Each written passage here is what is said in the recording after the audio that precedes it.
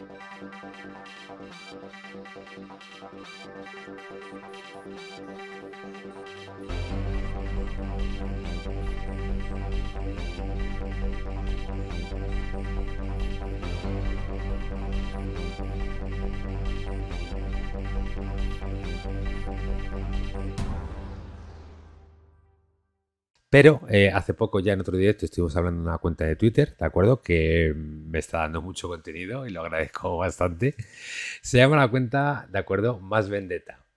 Y hace poco, bueno, estuvimos hablando hace poco de, de la parte de Bosbone, ¿de acuerdo? bueno, en directo anterior lo vais a ver, no me voy a recalcar mucho en esto, pero ha colgado un, eh, al parecer, una de las hojas de la factura, ¿de acuerdo? De de la empresa Vodafone, en la cual les han incluido esta hoja en la segunda, eh, la factura, ¿de acuerdo? entre las facturas de agosto, creo recordar que he leído en algún comentario. ¿Vale? Y aquí especifica lo de la nueva ley, ¿de acuerdo? Pero hay unos pequeños matices que me hacen en este caso preocuparme, ¿vale? Bueno, eh, te están explicando en este caso que entra en vigor a partir del 30 de octubre, ya van a entrar todas las condiciones. Y bueno, empezarán diciendo que eso, lo, que hemos hablado, que va a tener, eh, la permanencia va a tener una duración inicial de 24 meses, ¿vale? A contar desde el día 30 de octubre y una vez que se cumpla el periodo de duración inicial del contrato o de cualquiera de sus prórrogas, la duración inicial en relación con los servicios que tienes contratados actualmente no deberás abonar penalización alguna por el hecho de incumplir el plazo contractual. Lo que te está diciendo aquí es que vas a tener 24 meses de permanencia inicial ¿de acuerdo? Y luego ya en principio no vas a tener ningún tipo de, de permanencia más, es decir, lo están aclarando de que solo vas a tener 24 meses de permanencia al inicio, ¿vale? Ojo que esto va a chocar con la ley del consumidor, ¿de acuerdo? Si tú em, contratas un producto y no estás conforme en 14 días, lo puedes en este caso, em, lo puedes en este caso eh, hacer el periodo de desistimiento.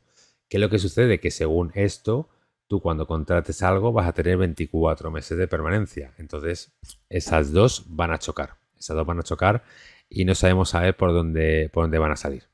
Vale, una vez superado el periodo inicial establecido en el contrato, podrás finalizar el mismo en cualquier momento sin contraer coste por ello, aunque la nueva ley nos permite solicitar que preavises de tu baja con hasta un mes de antelación para los servicios que tienes contratados eh, hay salvo que expresamente pactemos contigo otra cosa en el futuro, no exigiremos eh, plazo de preaviso. Es decir, aquí lo que te están diciendo que la nueva ley eh, exige que avises con un mes de antelación, pero que salvo que expresamente pactemos contigo otra cosa en el futuro, no exigiremos plazo de preaviso. Es decir, en principio Vodafone no va a exigir plazo de preaviso. Actualmente, a día de hoy, todas las teleoperadoras, todas las compañías pueden eh, dar de baja, te tienen que dar de baja los servicios que tú tengas en un plazo de 48 horas. Eso está puesto por contrato, en el contrato general de telecomunicaciones, ¿vale? Así que em, aquí por lo menos eh, te dicen que de momento ellos no lo van a aplicar. Eh, y punto número 3, de acuerdo, es el punto más, en este caso, más, más preocupante que veo yo para el consumidor que es asimismo hemos introducido una cláusula de actualización automática de tarifas.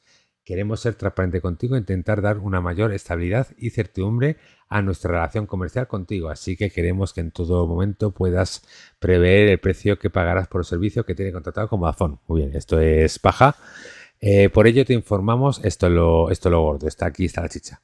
Por ello te informamos de que cada año, durante el primer trimestre del mismo, actualizaremos sus tarifas conforme al índice de precios del consumo, IPC, interanual promedio publicado en el mes de octubre del año inmediatamente anterior a la actualización por motivos comerciales de transparencia y sencillez. El precio resultante de la actualización será redondeado a la baja si fuera necesario para que el nuevo precio resultante sea número cuyo segundo decimal sea cero.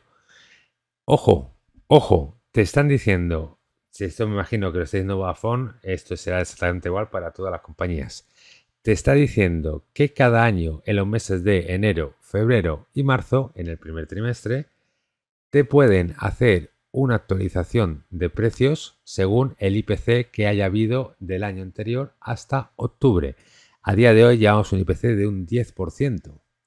Eso significa de que si esto lo van a cumplir en el primer trimestre, nos van a subir la factura un 10% a todas las personas que tengamos telefonía móvil en España.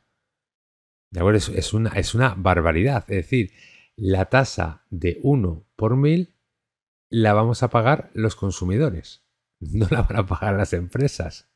Es decir, la nueva ley de telecomunicaciones se la, se la está pasando, se, vamos, los, de todos los directivos de las empresas, yo creo que todavía se están riendo desde que la aprobaron en el, Congreso. Ojito, esto es, esto es muy. Porque normalmente antes el IPC subía un 1%, un 0,5, un 1,5%, pero es que a, a fecha que estamos llevamos un 10% de IPC. ¿De acuerdo? Es decir, es una barbaridad. Es que un cliente que pague 100 euros eh, va a pagar en el primer trimestre 110. 10 euros más, ¿por qué? Porque sí. Es decir, porque el gobierno ha creado una ley en la cual a las teleoperadoras le permiten hacer esto. Es algo que no cabe en la cabeza el cómo se ha podido aprobar. Yo creo que esto, sinceramente lo digo con todos los, con los 114 artículos que ha habido, yo creo que esto lo han ido colando entre medias poco a poco ¿De acuerdo? Entre. La vamos a poner en el artículo número 30, en el artículo número 78 eh, y en el artículo número 85. Y, y, que firmen. Porque yo creo que ni uno se ha leído en este caso toda la, eh, toda la ley. Toda la ley ha dicho esto es bueno. que ¿Esto de qué va?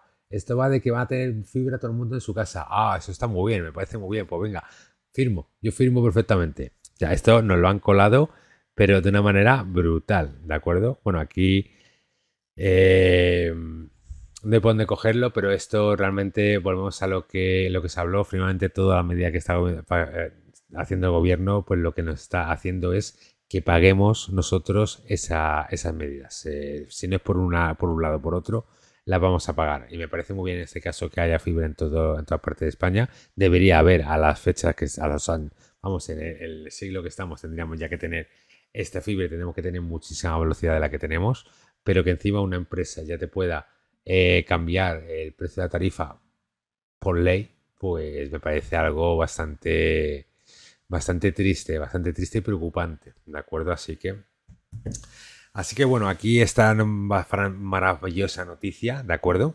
Así que ahora vamos a ir a por otra, ¿vale?